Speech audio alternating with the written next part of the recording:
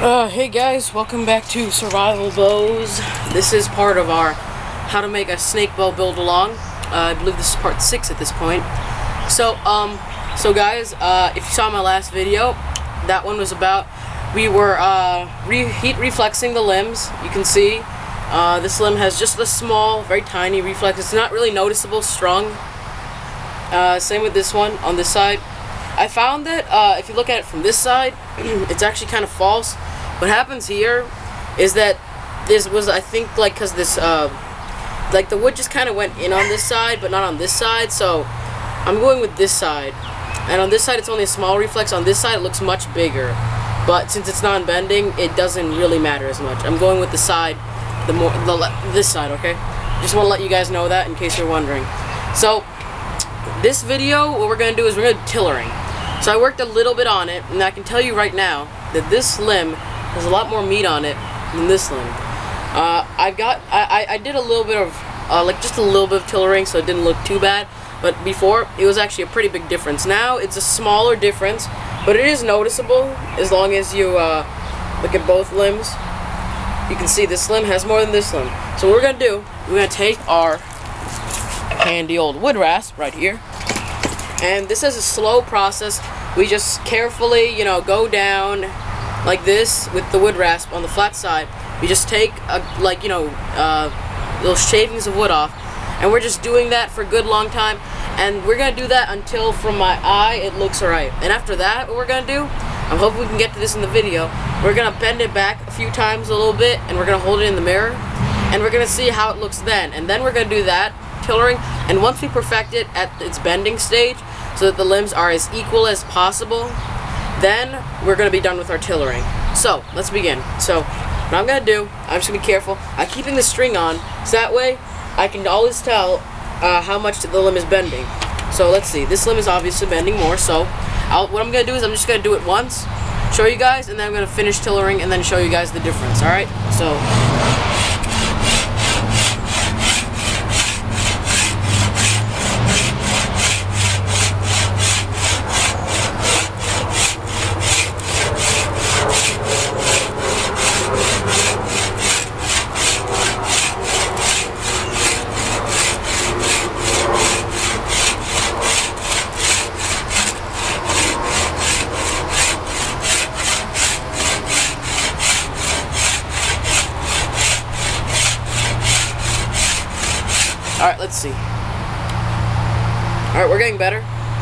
Alright, so basically, I'm basically just going to be doing that the whole time, you know, just on and off, until I feel that this limb is pretty close to this limb. And then what we're going to do is we're going to come back, and we're going to bend it a few times. Once we're once we think it's even at this place, we're going to bend it some more, see what it looks like at certain, like, you know, uh, pullback, like, you know, distances, like, to pull it back. And, you know, judging from that, we're going to do our final tillering. So, I'll be back as soon as I do this basic tillering, alright? See you guys. Be right back. Okay, guys. Sorry. Okay, guys. So, um, I worked on it a bit. Took me a few good minutes, but, you know, you gotta be patient. And I do think, from what I can see, I got it a lot more even. You guys got that whole thing in the picture. Actually, this is a better angle it's a lot better now, I think. So basically what I have to do now, you know, at this angle, it looks like it's even. But I still have a feeling that one side may have more than the other. I'm not sure. I'm, I'm assuming it's going to be this side. But who knows? Might have overdone it. It might be this side now. It's pretty close, I think.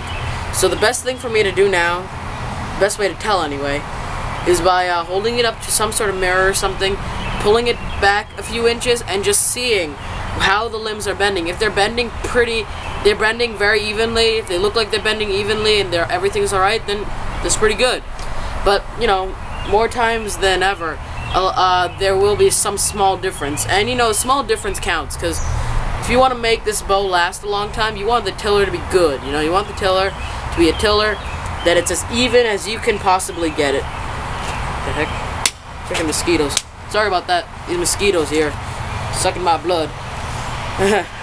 anyway, um, so you're not going to be able to see this, but what I'm going to do is you see that door there right now? By using that door, it actually reflects it. You won't be able to see it as well in the video. but I'm actually able to see very easily which side is bending more. So what I'm going to do is I'm going to put you guys right over, right over here. I'm going to bend it back. You're going to see how I'm bending it back from there. I'm going to see how I'm bending it back from there. And um, I'll pull it back and see how it is. Now this isn't perfect. You guys will probably have a better view than me. So after this video is done, if you still think the tiller is a little, a just leave me a comment in the comments below, you know?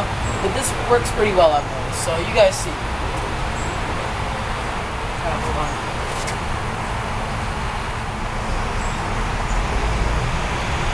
Yeah.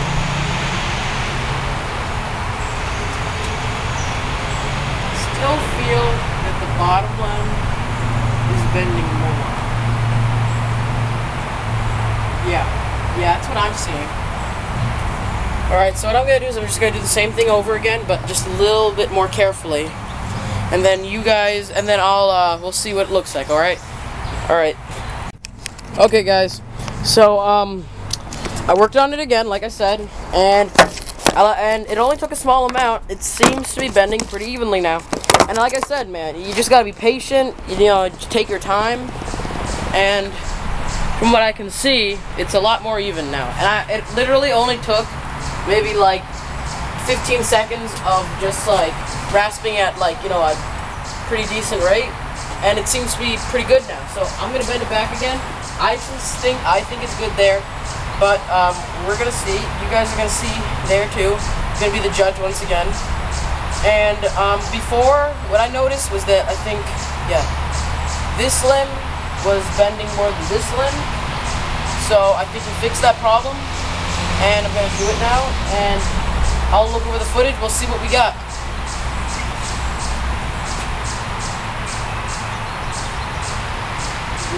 Oh, wait.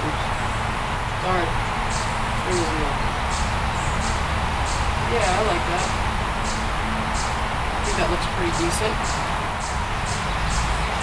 That matches decent. I think that looks, uh, pretty good from what I see. I mean, like, it definitely looks good. Well, like, just by looking at it, it looks really nice. And what I'm noticing when I'm pulling it back, let me flip it over so I can see it from this angle, which is the angle I like looking at it.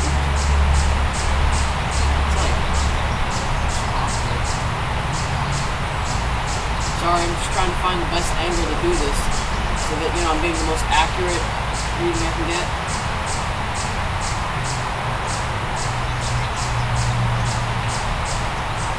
Good. I think so. Yeah, especially when I hold it up. Now that I'm holding it up, it definitely seems to be alright. Alright. And I think that's pretty good. Alright, we'll look over the footage right now. And if anything is wrong, obviously I'll rasp it again and tell you guys. But from what I'm noticing, that's pretty good. Alright? So I'll just be right back, okay? Alright guys, I went over the footage and from what I can tell, it seems to be pretty good. The tiller is, I think, very, um, pretty nice. I mean, I might sand it out a little later for any imperfections, like bumps or anything. But tiller-wise, I think that this bow is as good as I could get, considering all the awkward little, like, uh, shapes in it, like this and, uh, that thing and that thing. But from what I notice, it seems that both limbs are finally bending as evenly as I can possibly get it. You know? So, basically, technically speaking, the bow is done. I mean, like, not like I'm obviously I'm not ending it here because there's still a lot more work to do. You know, cosmetically, I gotta sand it down. I might put some uh, patterns on it. You know, stuff like that. But you know, functionality. You know, the bow's functionality, how much poundage it's gonna be, pretty much ends here. You know, the, like I could actually shoot this right now if I wanted to. I should be able to shoot it. You know, you know why not? You know, I'm gonna shoot this bow right now, one shot, just to see how it is. Because you know, I might as well find out now. Because if the tiller's done, and the bow has been dry, has been uh, seasoning for about a month and something now, which you know is technically I should let it season longer, but it's not gonna do it at too much harm to shoot it a couple times. So let's just get a good uh, feel for how it's shooting. So I'll just go get some arrows. We'll just put up a quick cardboard target and we'll see how this bow's doing. Let's uh, let's hope it can stand the test of being uh, to full draw. Let me tell you, scariest thing, bringing a bow to full draw for the first time. You always have the feeling it's gonna break. All right, we'll be right back. Okay, guys. Okay, guys. So um, I got two of my uh, random target arrows. These are just target arrows, you know, hundred, uh, hundred grain Um, I didn't even feel like getting the chair. I just like split the target up on the other target. And uh, basically, what I'm doing, I actually already shot it about twice now, you know, off off uh, off scene because um, you know, just in case I didn't want to have to uh, be all proud, you know, and, and shoot the ball, pull it back, and it somehow breaks, you know. Uh, so I just did that before, and it seems to be shooting pretty good. It's a lower poundage bow. I feel that. I'm feeling 30s, 30s at the very most. Uh, maybe in winter time actually would be in the, in the four, low 40s, but I'm feeling this somewhere in like mid-range, like 35ish. But that's basically what I was going for anyway. So that's good because this is for a friend as it is. So I was going for a really high poundage, you know. So I'll just shoot this twice for you. I brought, like I said, I brought my two arrows out, and you guys should be able to see this well.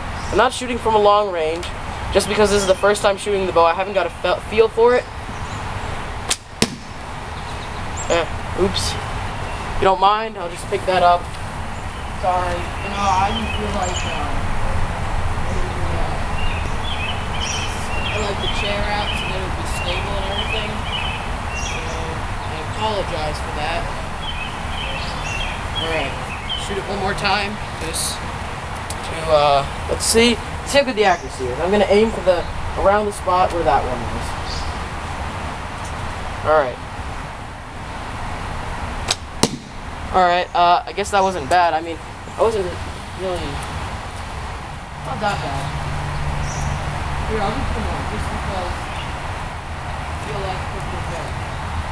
Now you guys are probably making fun of me considering I'm only maybe 10 yards away at most. And I'm actually a pretty decent archer, so should have been able to do a better. Alright, one more. I hope you guys don't mind. But, gotta, gotta get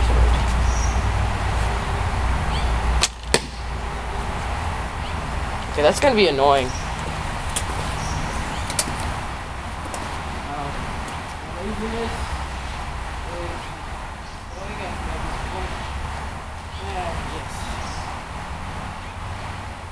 No, no, no, don't fall, don't fall. No, no, you do that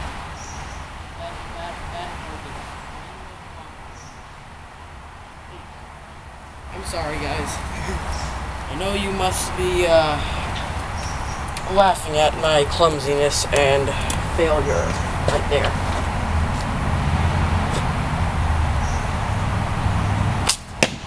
Ah, uh, sure, whatever. Alright, I guess that's not bad. Alright, so, um, thanks for, uh, watching Survival Bows. If you didn't, if you weren't able to see the arrow, where the arrows hit before, I'll show you now. That's basically what I've been getting from about a 10 yard distance. Yeah, 10 yards, 9, 10 yards. And, uh, I can live with that, you know. So, um, thanks for watching Survival Bows. And, uh, until next time, guys. Alright, see you. Oh, and before we exit, next video, we're going to do sanding and finishing and all that other stuff. Alright.